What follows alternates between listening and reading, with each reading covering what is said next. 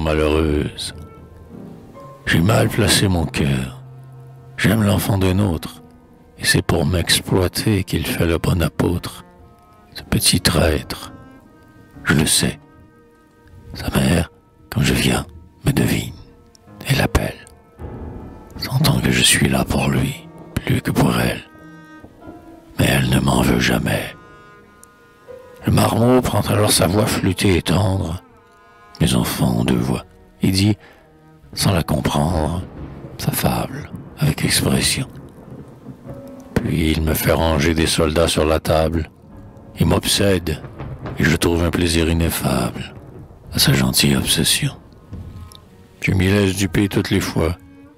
J'espère force de bonté, je serai presque un père.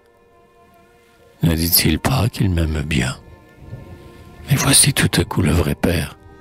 Oh disgrâce L'enfant court, bat des mains, lui saute au cou, l'embrasse.